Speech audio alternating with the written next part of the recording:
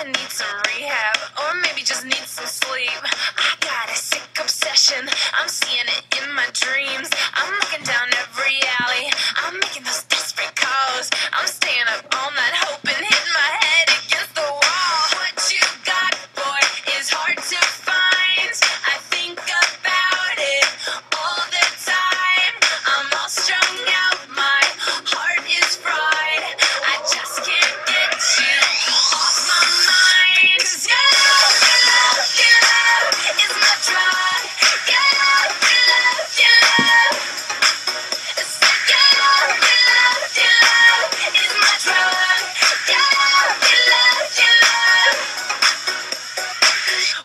listen to any advice. Mom's telling me I should think twice, but left to my own devices, I'm addicted. It's a crisis. My friends think I've gone crazy. My judgment's getting kind of hazy. My steez is gonna be affected if I keep it up like a lovesick crackhead.